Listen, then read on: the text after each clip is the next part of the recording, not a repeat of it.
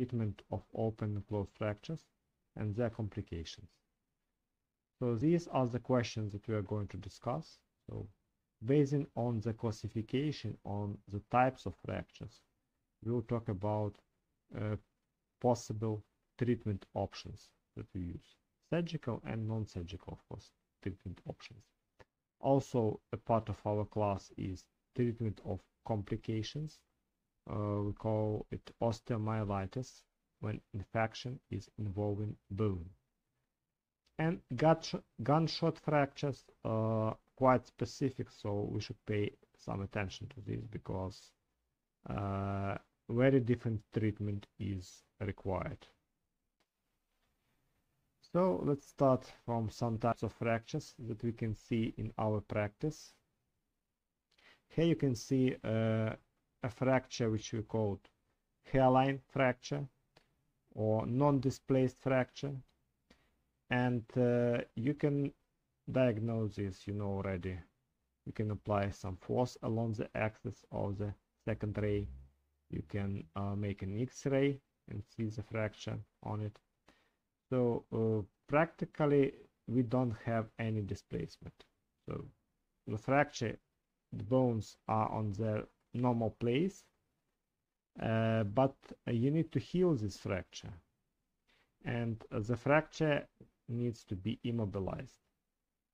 So for this case we should apply a POP bandage involving the foot and lower set of uh, lower leg. So after the middle set of of tibia that would be enough fracture and that will prevent fracture from further displacement. Because if the patient will apply some force on this foot non-displaced fracture can become a displaced fracture. And then quite expensive uh, treatment will be needed. Not that's not necessary of course. That's why if you apply POP uh, bandage or cast bandage for a period of four weeks. And after that you remove POP and you allow patient to walk instantly with of course some uh, physiotherapy. So the next type of fracture we, is very common for child it is so-called green stick fracture so for green fractures uh, what is common that a periosteum is not damaged usually so if we talk about uh, uh, shift is not uh, uh, usually present, but angular deformity is present. So the main idea for treatment, of course, we need to correct this deformity. For childs, uh, some angular deformity is acceptable, but not so big. So this angular deformity should be corrected. And that uh, technique is called reduction technique. Usually it is done in a closed way. So close the reduction and you may fix it, immobilize it with uh, a plaster of Paris or polyurethane bandage. Okay, the same period of immobilization, I think up to four weeks will be enough for this fracture. Uh, if we talk about uh, types of how this uh, fracture can occur. It's about the force that is applied to fracture site. So on this uh, part of left part of the screen, you can see fracture which is occurred due to the direct force applied. The direct blow into the fracture site can cause a fracture. Or indirect force when the patient is falling, landing on hand and force is transmitted through the bone to the its weakest part. So here the weakest part is the middle of the forearm and it occurs.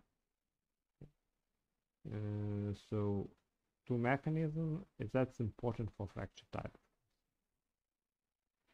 Uh, if uh, when patient is falling down the foot is rotated uh, so it can result in so-called a spiral fracture Basically, it is the same fracture as oblique one, but with a torsion component.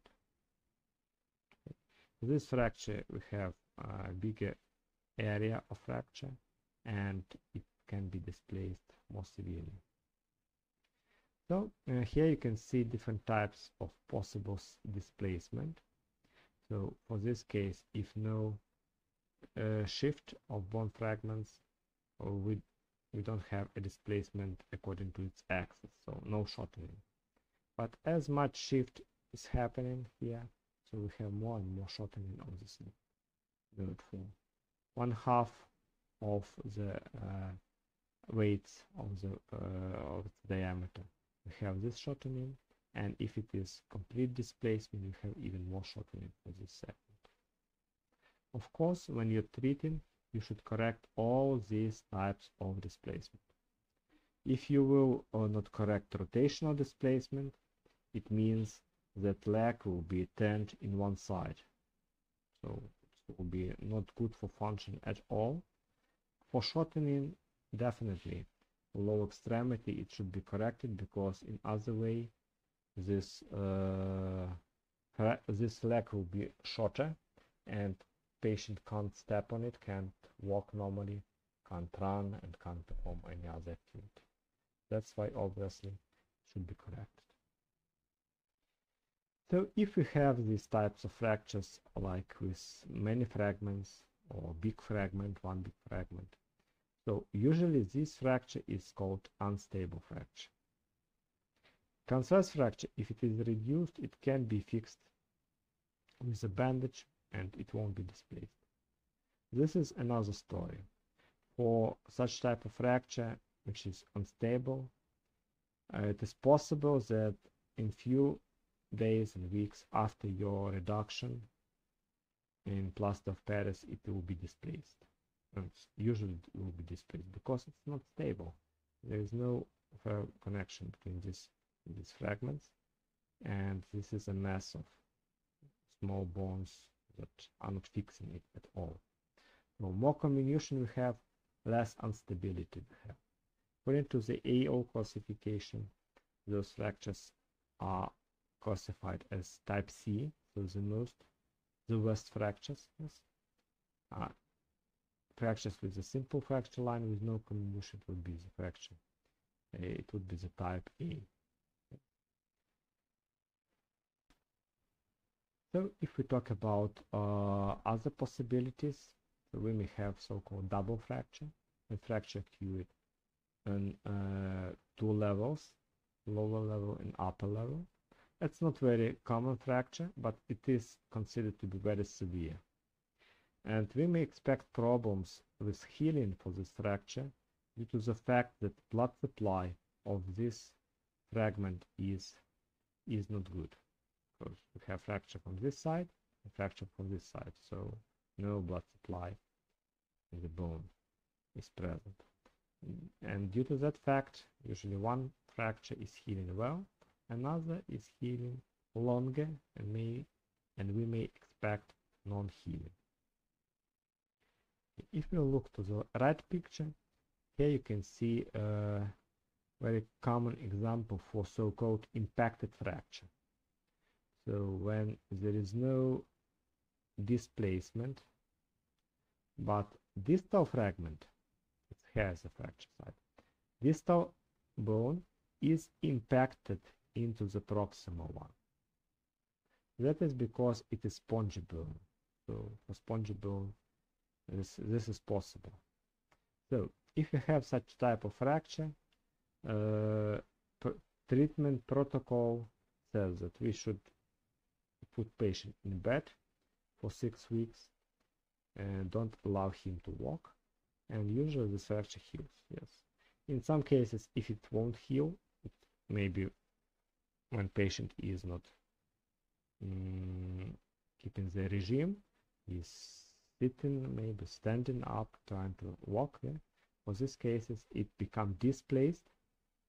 And here we go to another uh, treatment because without surgery, it's not easy to fix this fracture. It's actually possible.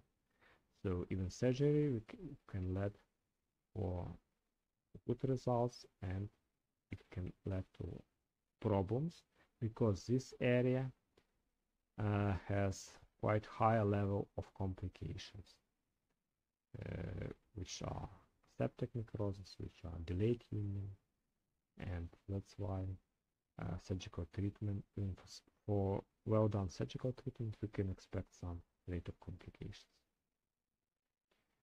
So next type of fracture you see that uh, vertebral body on one side is not fractured and this is a fracture uh, compression fracture of vertebral body we call it a wedge compression because anterior part is compressed more than posterior part.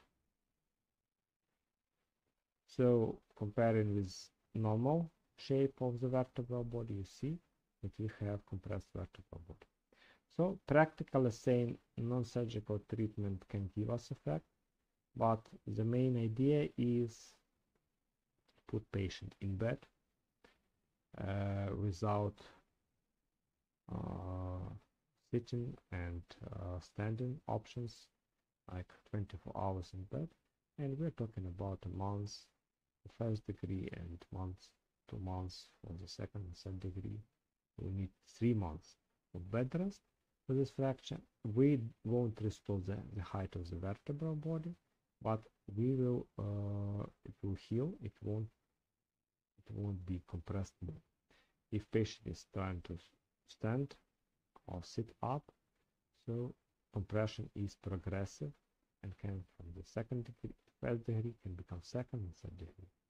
That's why main idea of treatment is bed rest and of course applying some reclinator can uh, can help in in height of the vertebra.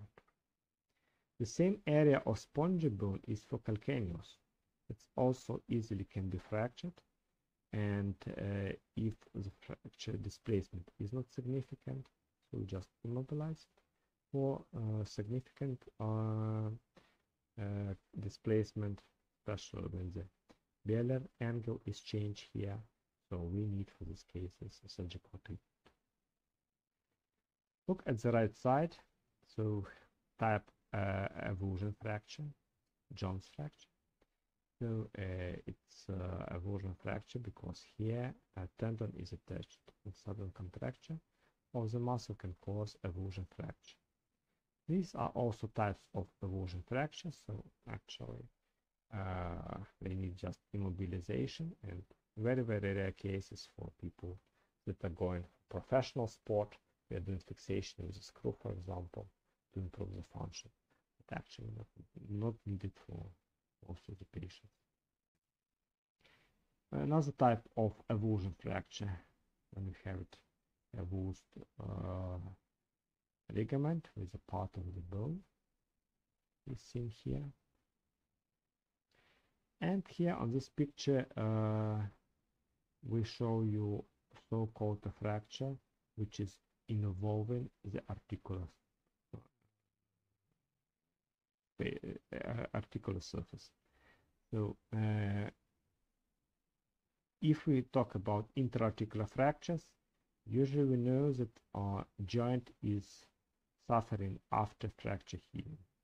So we, we, we can talk about post-traumatic osteoarthritis can easily be developed and uh, it depends of course on many factors but the main factor that you can affect that's a quality of fracture treatment. So of course it needs precise reduction, so it should be congruent with no steps between the surfaces. And if we talk about uh, fracture type, of course it may be different with partial involvement of articular surface, with full involvement when many bone fragments and totally destroyed articular surface and maybe a little uh, impression fracture. Some part of, of articular surface is impressed down. If we talk about periarticular fractures, also have a good uh, picture here on the right side.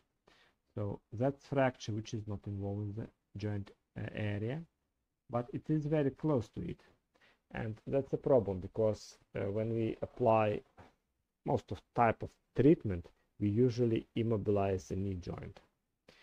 Uh, except surgical treatment when we apply plate. So for this cases patient may start rehabilitation earlier but in most cases uh, it results prolonged fixation in a plaster of Paris or external fixated results in stiffness in the knee joint so the rehabilitation is prolonged. But of course for for joint prognosis is benign because we don't have osteoarthritis most for this for this case. Here on this picture we have a bad combination when uh, head of humerus is dislocated from the shoulder joint and the humeral neck is fractured either. So two injuries and the same side, it's not good because it's not easy to re repair this. So we need to put the head in the joint cavity and we need to fix this fracture. So at least we need to apply POP and uh, correct the position of bone fragments. Uh, it's not easy to reduce two things at once because usually you remember the technique of uh, shoulder dislocation reduction. We usually manipulate by the distal part of the humerus. But here, if you perform some traction, rotation, adduction, abduction, you will move at this place, at the place of fracture. So you won't be able to move the head. That's why close reduction is not easy. It's possible. Some cases it's possible. We did it, but uh, so for some cases we, we should go to the open surgery. So usually for shoulder dislocation we use mode technique here. When we pull in, applying traction, uh, in side direction and this is this can help us and after you reduce the head you can uh, reduce the fracture of humeral neck and then apply POP. Okay, next uh, quite common situation is shown on the right picture. When there is a fracture which is I would say that is complicated fracture. And the reason of why is it complicated means that uh, vital structures in this area are damaged. So when artery or nerve is damaged we consider this fracture as complicated fracture so now some general information about types of fractures and how our treatment depends on this. So we know that bone has epiphysis, metaphysis, and diaphysis, which we also divide on three equal thirds. So that would be upper set, that would be middle set, and that will be distal third. For each of these locations, you may think, what is the difference? Is it a fracture of femoral shaft? on the, just above the knee joint or just below the trochanteric area. But the difference is really present because we have muscles that are attached to these areas and each type of fracture has its own type of displacement. Mostly for opposite fractures we have such kind of displacement when proximal fragment is moved anteriorly and laterally due to the muscles that are attached to the lesser trochanter. And for supra uh, condylar fracture, we may have common displacement when distal fragment goes to the posterior side and cause angulation, which is open to the anterior side. So if you know common types of displacement for particular fracture, so you can better develop and perform uh, reduction for the stretch. So your aim is to reduce all types of displacement. And watching at the X-ray, you may see that uh, two views are needed. So that is a view from the side, called lateral view. That is AP view. So this picture nicely show you how uh, AP and lateral view can sh can show you different types of displacement. This is a fracture, no displacement. You, we are sure because we look at lateral view, no displacement, AP view, no displacement. Okay. But look here, you look at lateral view, you may see that the fracture is not displaced. But when you look at the AP view, you will see that we have here lateral displacement of distal fragment. Here is vice versa. AP view will show you non-displaced fracture. And you say, oh, it's okay. Just put a bandage, POP bandage, and that's okay. But no, we have full displacement if you look from the side. So lateral view can show you more information. The same on the fourth uh, side, you can see both posterior displacement and lateral displacement together. Uh, you see the displacement may be full displacement when full loss of contact between both fragments and partial displacement here. So if you have full displacement like that, mm, that may be a problem. No contact means that there may be some soft tissues between these fragments and uh, the structure will never heal. I don't want to say that it uh, may heal in the wrong position. Yes, it may heal wrong position, but more chances for this fracture it will heal, it will never heal. Uh, so that's why uh, we consider that there are types of displacement which is acceptable and which is not acceptable. So please uh, look at this picture for transverse fracture. The transverse fracture, as we mentioned before, they're stable. So if a partial displacement is present here, no shortening is here. So if you don't have angular deformities, the position is acceptable. This will heal and patient will have good function. But look, if you have full displacement here, there will be a shortening. And then the knee be shorter and patient will limp due to that fact. So that this type of displacement is considered to be not acceptable and should be corrected in any way. The same but here, oblique fracture type, you see that the oblique fracture type is unstable fracture, yes, and this distal fragment can slip along it and even partial displacement can cause a shortening and that should be corrected.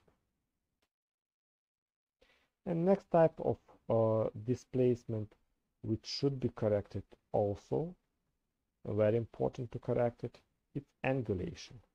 So the angle may be open to the lateral side, may be open to the anterior side, uh, and uh, that will result in quite significant lo loss of function.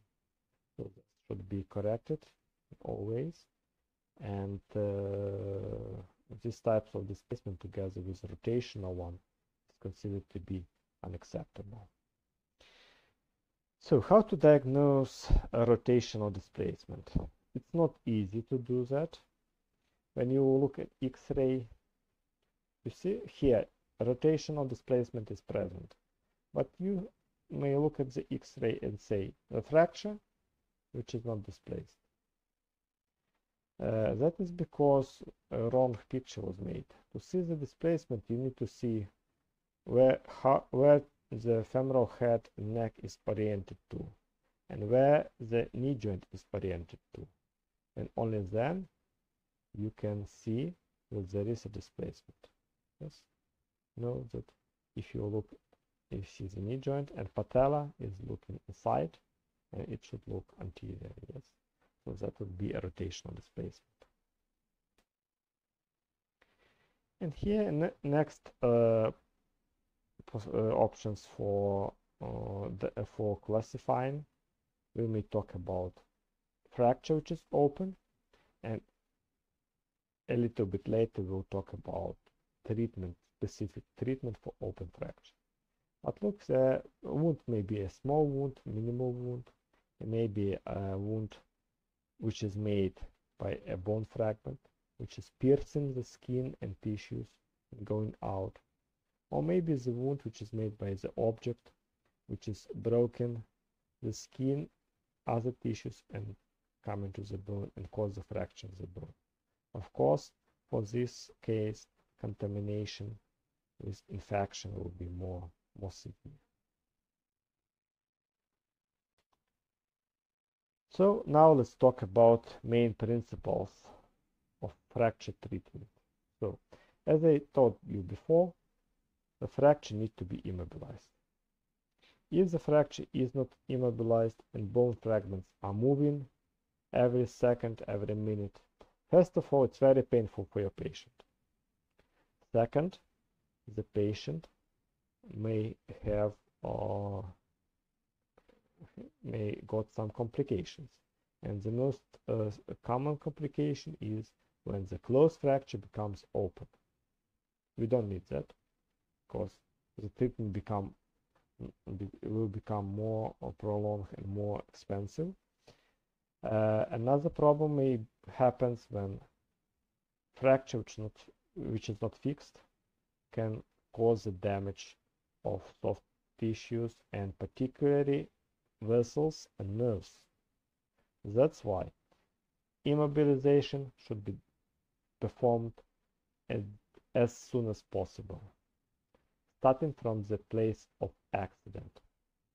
Okay, and after that you shouldn't remove it. So you may just change. You may change transport splint to a plaster bandage in the hospital or to a plate or nail inside. But all time during the treatment, the fracture should be immobilized. If you remove bandage or you remove the splint, you should prevent movement of the limb in this moment. Also, we may use analgesics. We should use analgesics. And of course, it depends on the severity of the fracture. For severe fractures, we may use narcotics. For non-severe, we may use um, NSAIDs, mostly those NSAIDs that have a more analgesic effect. Okay, not antipyretic effect, not uh, uh, anti-inflammatory, but have group of sites as dextrogene, for example, uh, ketoprofen, dexketoprofen, which has very high activity, like analgesic activity. So also you should stop the bleeding if it is open fracture. Mm, open fracture may be of different grades. We have special classification for this. We'll talk about it later. And also we should put some ice, decrease the swelling of the limb, and take this patient as soon as possible to the nearest hospital. Nearest hospital, not to the capital, not to the uh, to the other country, but to nearest hospital where where is the surgeon? Yes orthopedic surgeon or, or maybe surgeon that can provide first medical aid and specialized medical aid. So uh, how to immobilize fracture correctly? That's very important point because um, you, may, you may think that you just need to put it on the arm and band it with many bandages and that's okay no, it is not. And there are special rules that you should know. One of the rule is that the splint should be applied in physiological position. So for elbow joint, it's 90 degree of flexion and the position between uh, pronation and supination. Also, we should apply some soft paddings. Gauze, maybe a few layers you can put here why is it so? Swelling is increasing. You bend it very tightly and in some time, maybe in one hour, in two hours, these wires may damage the skin, can cause ulceration and pressing. That's why to prevent this, we need good soft padding to protect soft tissues. Second next principle, let's say fracture is here, yes. So you should not bend bandage here very tightly you should do it distally and you should do it proximally. Uh, because those cases when the bandage is banded just on the fracture side and and distally we don't have or proximally we don't have bandages. So it will result in very poor mobilization it, it may result in more severe pain and even can cause the displacement of bone fragments. That's why you should uh, fix distally and proximally from the fracture site and we should immobilize uh, the joint as well. So uh, two nearest joints should be fixed. For forearm, it is the wrist joint and it is elbow joint. When humerus is fractured, we apply splint starting from the scapula. On the opposite side, it goes on posterior side of arm, fixing shoulder joint and fixing elbow joint. That's how you can immobilize that. If we talk about no splints available, you can use any wood material, any board or umbrella but you may use you may apply sling uh, sling hanging sling is also fix this fracture uh, you see the splints are universal they can be used for lower extremity for upper extremity posteriorly laterally medially in different locations. so, and this another type of splint, so-called Dietrich splint. So it has several parts, a part for foot, middle part, lateral part, which I apply together, and that is a traction splint, so actually you can apply some force. So due to that, this wooden board is fixed to the foot. And we have a rope and a stick. Twisting with the stick can move this board and can cause some traction. So when this traction is applied, the usually movement at the fracture site not uh, not present. No movement, less pain, less chances to damage some soft tissues and vessels, nerves surrounding the bone.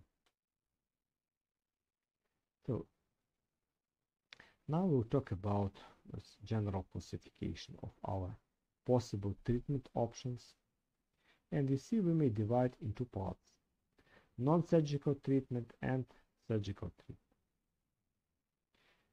So uh, if you say that uh, we should give some painkillers and calcium, that's important, but much more important to immobilize the fracture. And uh, that is actually plaster of Paris bandages, but you can immobilize the fracture also by means of continuous skeletal traction. You should choose one option or another option. And your choice is based on the type of fracture, actually on the diagnosis. Because for some fractures, stable fractures, you may reduce it, you may put a POP. For other fractures which are unstable, you should apply continuous skeletal traction if you decide to treat your patient in non-surgical way.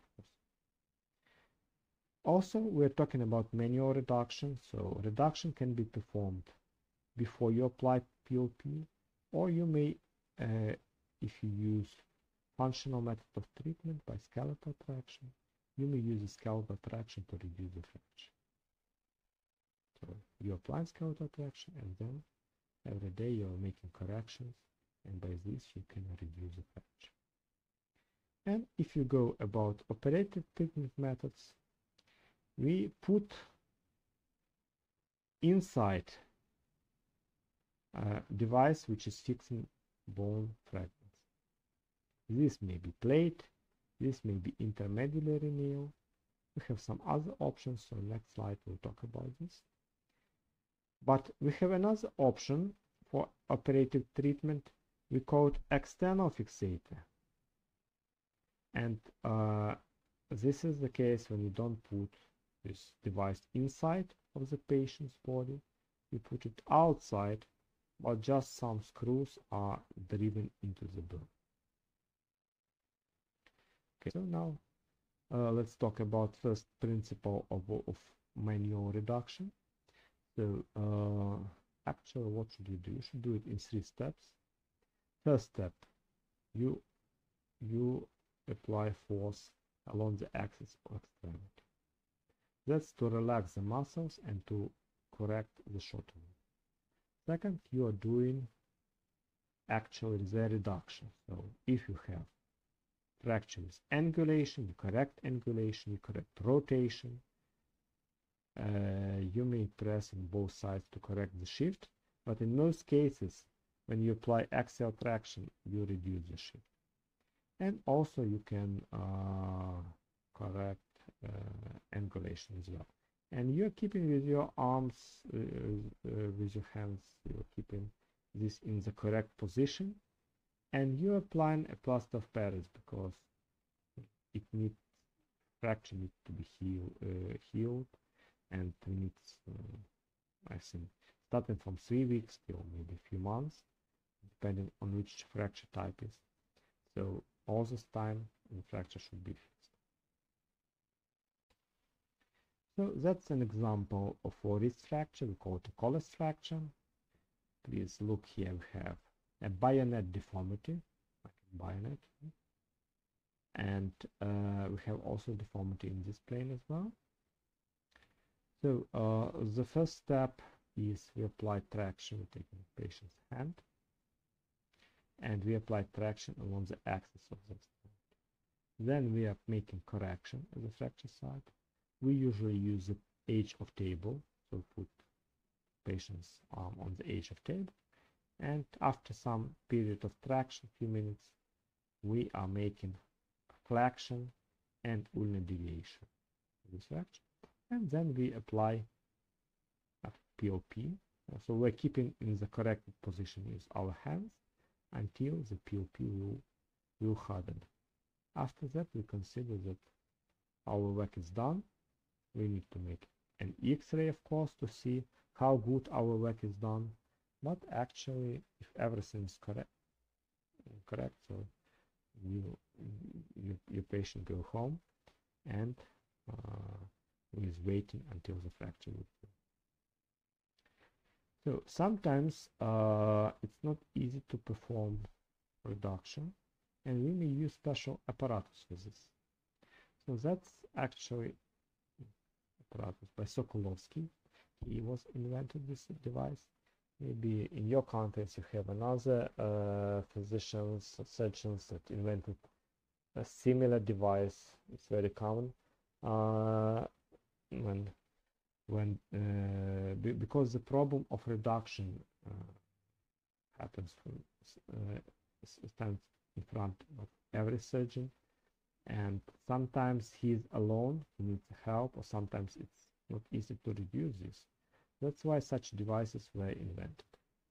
So this part of the distal humerus is fixed down and fingers are fixed in this part. So uh, uh, gradually we can turn in this mechanism, we can pull it millimeter by millimeter and cause a reduction of one Allow you to don't allow you to make something with it. So usually uh, the swelling is increasing and the plaster of Paris can compress this area. When it is doing so, so uh, it can uh, result in ischemic changes of the soft tissues. Practically what we do, we uh, when we apply a circular bandage, we um, leave distal part of the foot, fingers, like here yeah. we, we leave them open. So you can check this you can control blood supply. If the spot is warm if uh, the spot is uh, sensation is present it's not pale it's not dark uh, pink color and uh, you can ask patient to move his fingers if all these things are possible so you know that uh, the blood flow is not interrupted. Opposite side, you, you should cut this bandage, release or even remove it, save patient's extremity. So be very careful with circular bandages. The, these bandages are very uh, dangerous thing if you don't care about it. Semi-circular bandage don't have these problems, but it has not so good uh, fixation. So that's why we usually check how this bandage is fixing the fracture and usually make it band banded tightly every day uh, when the swelling is decreasing. After swelling has decreased, we can change this bandage to the second. Just bending some bandages around it. So also we can use this after surgeries, when surgery was done, to protect this tissue like you fixed a fracture, not with a plate, by with some K-wires or screws just only. So screws are not enough, so we need additional POP to immobilize fracture site. So these bandages we usually use in our practice. We put them in water, one two minutes, and then we are uh, bandaging, making any type of those that were shown you before. And that's how it looks like on the patient, a semicircular bandage. It's bandaged with elastic bandage uh, around it. And circular bandage on the forearm. And also the way how we can remove this bandage when uh, it's not needed more. So we have special scissors for POP bandages and we have some electric instrument which we can cut also along the So now let's talk about functional method of treatment and a functional method of treatment means that uh, joints are not uh, immobilized and that will give us good possibilities because there is no stiffness in the joint. So usually we use uh, traction and different types of traction are present here. So skeletal traction means we put K-wire through the bone uh, we may use glue or adhesive traction to the skin. We may use sling traction. So that's how it looks like usually. We see the patient which is in bed and the system of skeletal traction is applied. So the main idea is to make uh, pressure or along the axis of extremity. So for this purpose we usually put a K-wire through the bone and we take a sterile K-wire, we clean the skin with aseptic solutions and we make anesthesia in the area of olecranon. Here we can use lidocaine solution and then when we give anesthesia we have a drill and we are putting the K-wire through the olecranon. It is fixed in the tension bow and then we have a rope goes through the system of pulleys and you have a weight. So the actual the weight is applied along the axis of the humeral bone. Look here, we have an X-ray. It shows us the X-ray, the fracture and how it is displayed. So just pulling along the axis can help in reduction because this bone will align by themselves. But we have uh, some options. We can apply additional sling here it will pull one fragment like this fragment to this direction and can correct the position of fragment. Additionally, to prevent rotation, we can apply a skin traction of forearm, which goes and prevent rotation, because rotation will cause rotation, particularly in the fracture side. And that would be not good for fracture healing. It's another way how the system may apply. Yes. Also, the traction is applied to the olecranon. That's mostly for fractures of the uh, glenoid cavity. And for lower extremity, we have two places. We can put we can put it through the supracondylary region, but in most of the cases we do it through the tibial tuberosity and also through the calcaneus. So calcaneus is for fractures of tibia, like this. Also we have a tension bow we have a rope and a weight. and we have some side slings one is pulling this side another pulling this side. Note this is a fracture x-ray and you see the type of displacement actually it needs this fragment to be moved to this uh, side and this fragment to this side. So this correction can be done by means of this skeletal traction system. Okay. so it has advantages because it's cheap it's simple. You can apply it within few minutes uh, it's not painful just because you give general anesthesia and you put in the K-wire so actually most of patients can stand. It uh, you don't open the fracture site you're not making surgery you don't have infection here you don't have problems here. So the only problem is time. So the patient is attached to bed and if we talk about this fracture we know that we need three months right? So we can keep patient in bed for one month until the soft callus soft fracture callus will happen here. After that we can very gently we can remove all this system and apply POP because totally we need three months yes?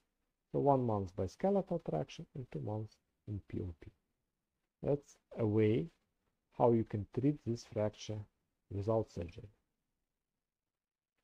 Okay surgery of course it's more beneficial because patient can can is not attached to bed and can start rehabilitation just maybe a few days after surgery.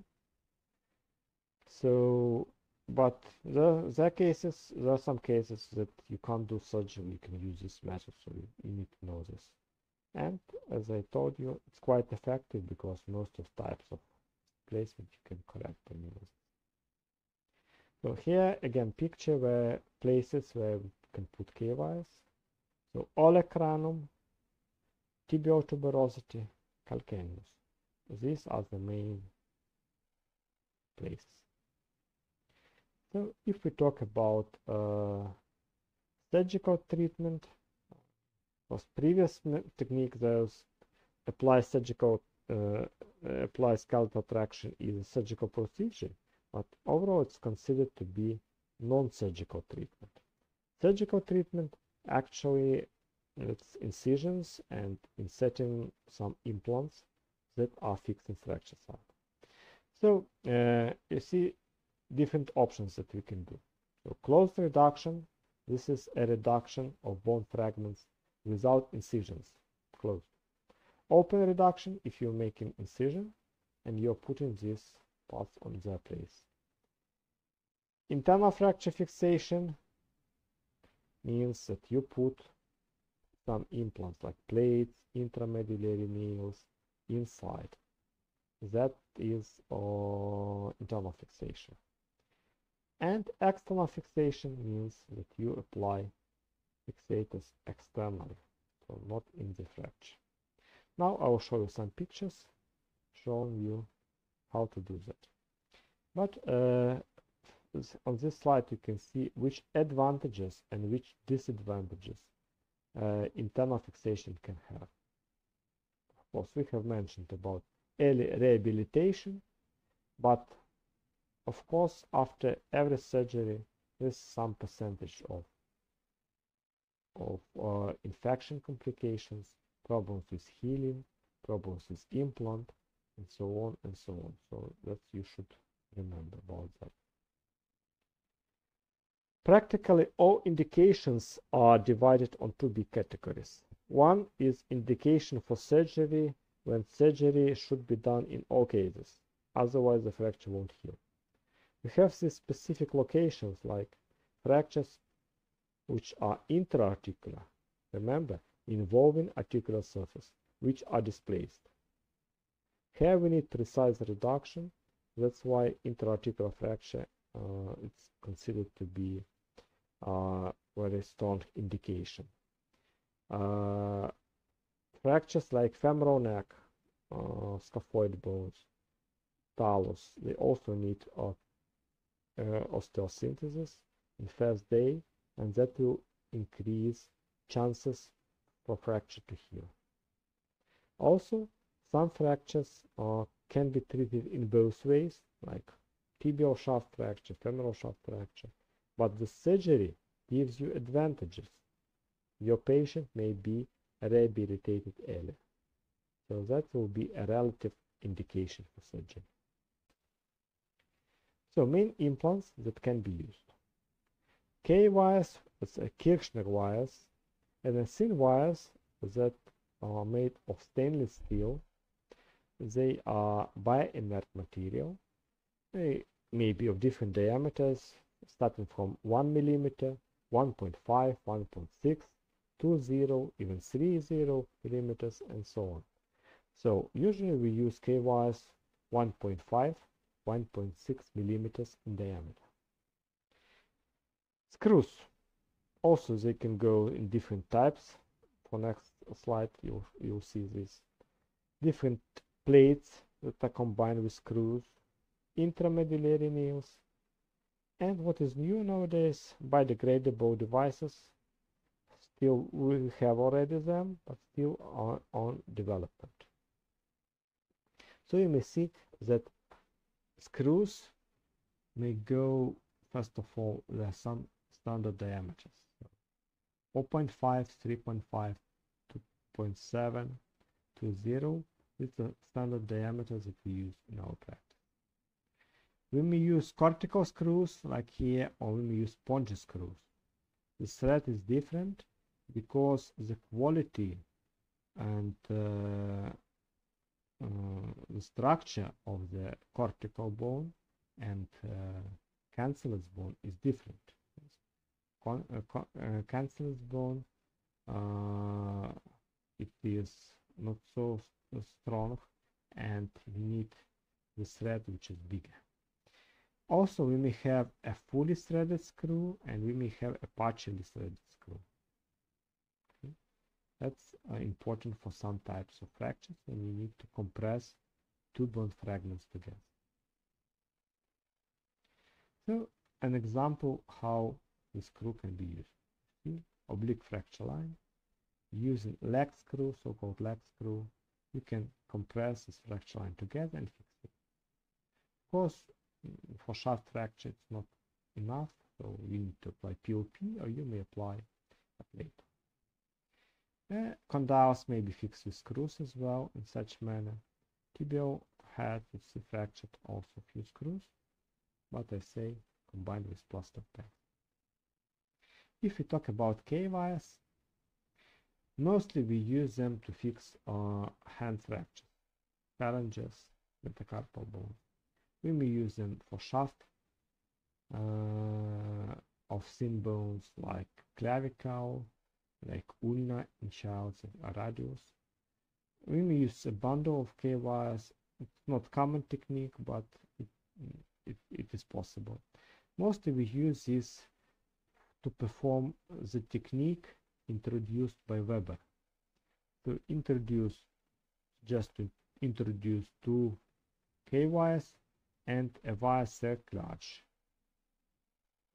which is uh, fixed to the end of this uh, K-wires. So this technique uh, is used for olecranon fractures and as on this picture or for fractures of patella. So what about screw, uh, what about plates? Of course plates need to be fixed with screws and this is an example how comminuted fracture can be fixed in a bridge technique so screws are inserted above it and can insert below it. So this fracture is immobilized and despite the many fractures, it will heal like in one big callus. You see that fracture uh, uh, locations are different and uh, sometimes when it is close to the joint, we can't put a straight plate. So straight plates can be used only in the shaft area. Uh, those areas that are close to the joint, like mm, close to the knee joint, a proximal lateral plate is used to fix tibial fracture. This is for distal part uh, of the tibia can be used. This T-shaped plate can be used for distal part of radius. So anatomically pear-shaped plates, it's a good advance in treatment because uh, it can provide better fixation and anatomical contouring and uh, don't uh, uh have some, some soft tissues around this and ligaments and tendons they can work fine if this plate is applied. We also can use a reconstruction plates when the plate is bended in different directions. In axial, uh, uh, in uh, on side or on the anterior to posterior side you can bend this. So you can do it according to the anatomy uh, what about our university? We had such a plate that was developed here, which is fixing a fracture in two planes. So dynamic plate by Roblenik introduced, Professor Roblenik introduced this plate and it's fixing the screws are inserted in one plane and in another plane.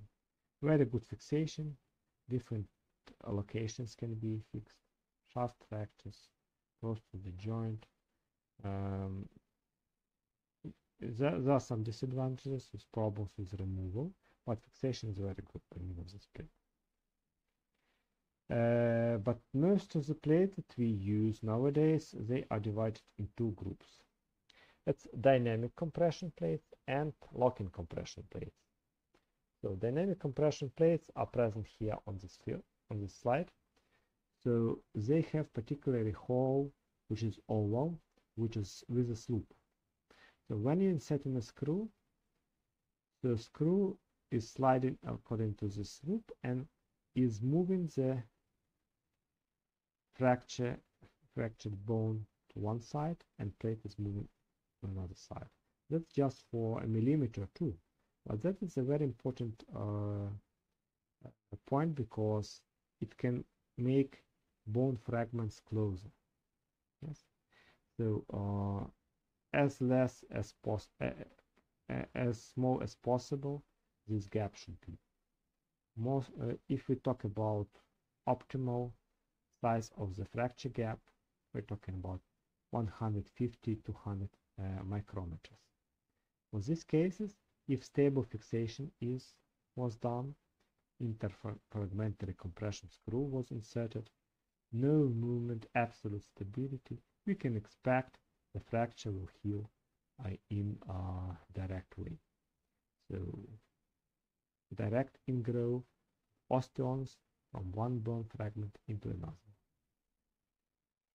If there is some movement in this area, the fracture may be healing may be delayed, and for relative stability, we're expecting fracture healing with a callus formation, which is callus which is surrounding fragment.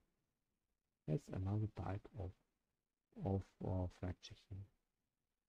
So you see, before this plate, a special tensioning device was introduced when uh, it helps to insert these uh, screws and compress them. But now we can use this DCP plate, which is actually dynamic compression plate.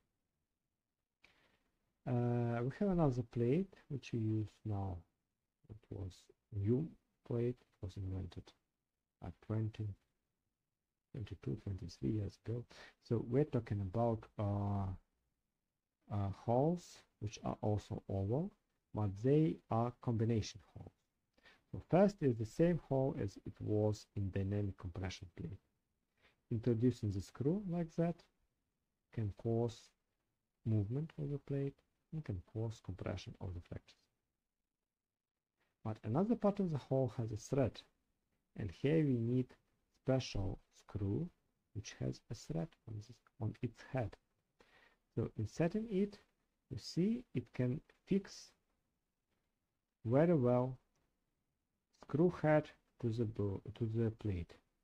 And of course, when this screw is inserted in the bone, the fixation is much better than previous one. So we're talking about angular stability. It's uh, is very good for bone with a poor quality osteoporotic bones and for those areas which are uh, surrounding the, the joint. We have um, cancellous bone.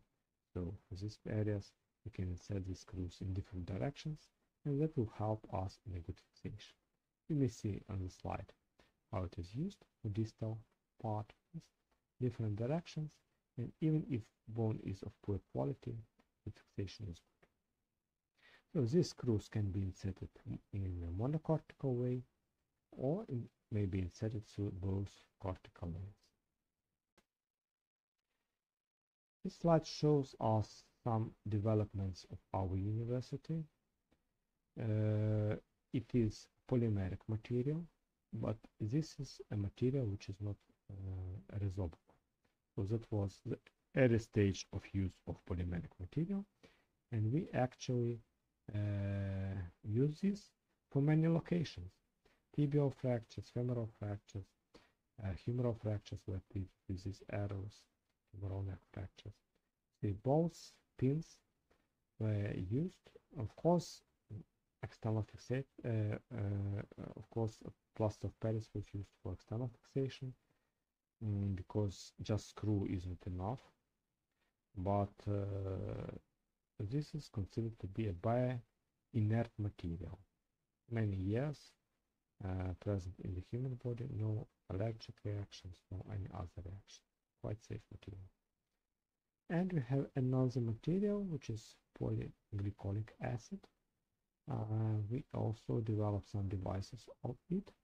And you see uh, screws, uh, pins, conical pins that were uh, invented and used. We perform surgeries of fractures of malleolus, olecranon fractures, screw, uh, fractures of tibial condyles, and other locations. And uh, the advantage of this is that they completely are resorbable in the human body.